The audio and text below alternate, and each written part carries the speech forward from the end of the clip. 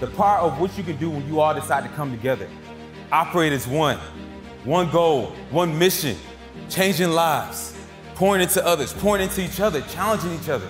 And so I'm here to tell you whatever happens this school year, no matter how tough it gets, have the right perspective. Continue believing that you can still win, continue to grow, continue to challenge each other, continue to push forward, and I guarantee you that that outcome is gonna eventually be what you want it to. It has to be. Are you pursuing excellence in what you do, or are you just trying to get to that next check? Is it a calling and your mission, or is it convenience? 1%, just getting 1% better every single day. That's all it takes. All those little small efforts add up. Just keep planting the seeds. Keep planting the seeds. 1% better with your mindset, 1% better with your body language, 1% better in terms of how you serve others. 1%.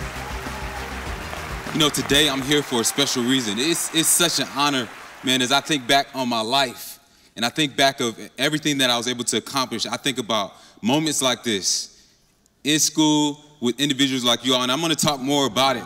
My experience listening to Rennie Curran, particularly as a keynote speaker, uh, has been affirmative. Uh, in many ways, I see Rennie as a kindred spirit of mine.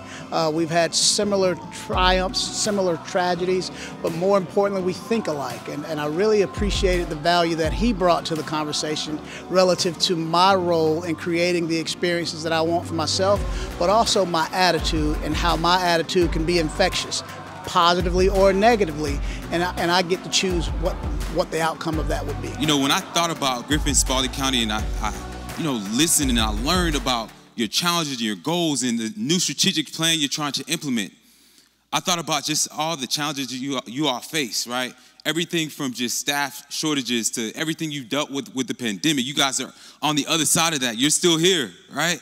So many things have happened. Yeah, give yourselves a round of applause if you're still here. Yeah. I mean, there's all types of challenges that are going on right now. We've never, our society has never been as divided as it is right now, right? We can't seem to come, uh, come to a middle ground for anything, right? So just coming together as a team can be a challenge sometimes. Getting on the same page, reducing negativity and driving it out, building a positive culture and camaraderie and just you, you know managing burnout. There's so many things that we have to deal with. I know we're all in this great environment right now right? Everything is is happy but what's going to happen? We're going to leave here right? We're going to go back into the real world and we're going to be in the trenches. Yeah and it's going to get real. And that's when all these things that i'm going to be talking about today is really going to come into effect. So today was our education celebration. That's the one time a year that we bring all of our staff together in one place uh, it's, it's a lot of fun. We recognize folks and we try to give them a charge for the coming year. Uh, Rennie did an amazing job. He connected with us in advance to sort of get the, the theme and the, the feel for what we hope to accomplish, and he drove it home. He helped to develop uh, the culture that we're striving for, the, the, the positive mindset, the trust uh, that we're trying to develop as a school system uh, as we try to continue to help our students read, write, speak, and solve, prepare them to graduate college and career ready.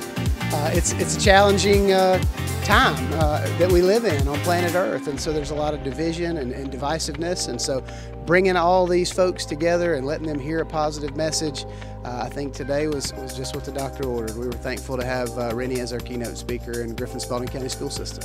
And working with John, we came up, we have a principle, a formula it's called E plus P equals O. E plus P equals O. E is about the events in your life, the things that happen that you have no control over. Those things that knock, just knock the life out of you. The events in your life that, that don't make any sense. Plus, your perspective on it how you look at your events, how you look at your situation, whether you believe you're down or whether you believe you're up, whether you believe you're being buried or whether you believe you're being planted. Your perspective equals your outcome. Events plus perspective equals outcome. So, because I had the right perspective when I was in each one of those positions, it led to something great. It led to something great. It was at that time when I got cut that I started working on myself, that I started reading books, that I started going to network events, that I started going to schools and speaking. because I made the decision that I was not gonna allow this decision to bring me down. I was not gonna allow negativity to just take over my life. And so I'm here to tell you whatever happens this school year, no matter how tough it gets, have the right perspective. Continue believing that you can still win, continue to grow, continue to challenge each other, continue to push forward. And I guarantee you that that outcome is gonna eventually be what you want it to. It has to be. It has to be. So, my experience listening to Rennie this morning was fantastic. He did such a great job motivating the school district to work as a team, have a positive attitude. Um, you know, I loved his saying of, you know, in absence of communication is negativity, and that just rings so true these days. I decided to start substitute teaching here in Spalding County so that I could give back to my community because I wanted, I wanted to serve you. I wanted to serve these kids. I wanted to make a difference so that, you know, they don't have this kind of struggle, that they know that mental health has a face. Wow. When I was age three, I was diagnosed with Asperger's. Wow. Um, until age eight or nine, I was under an IEP in Coweta County schools. From age three until around age five, I was basically nonverbal. So around age five is when I started speaking full sentences again. Without my teachers, my administrators, my counselors, the custodians who had a friendly word to say at any hmm. time of the day, I would not be here in front of you speaking. Wow. Yeah. hey. Hell yeah, man. So the very least I could do and what we all can do is do the same that our teachers did for us. Yes. Keep that legacy going forward. Give our students the same, if not a higher quality of support than what we've got and what brought us here today. Yes. Thank you. Yeah, Next thing, pursue excellence together. Pursue excellence as you strive to challenge each other, as you strive to grow and keep that positive mindset. It's another thing to be positive, right? It's another thing to be encouraging, but it's another thing to pursue excellence. Are you pursuing excellence in what you do, or are you just trying to get to that next check?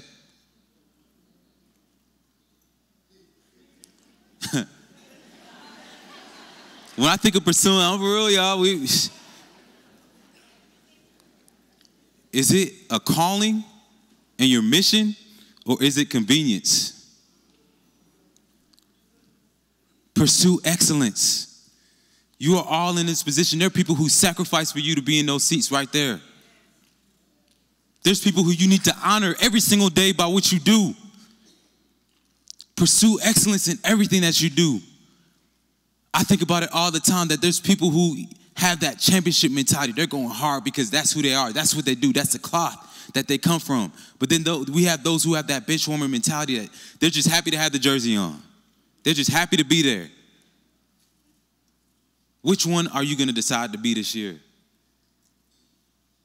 Be a champion, pursue excellence. And one thing I want you all to think about is just 1%. 1%, just getting 1% better every single day. That's all it takes. All those little small efforts add up. Just keep planting the seeds.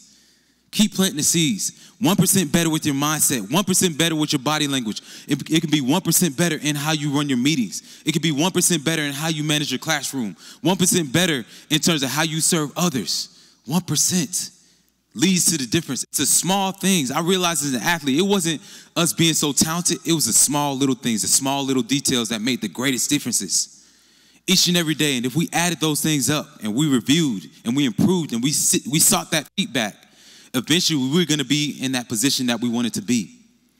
1% better. So, what are you going to do this year to continue to get 1% better?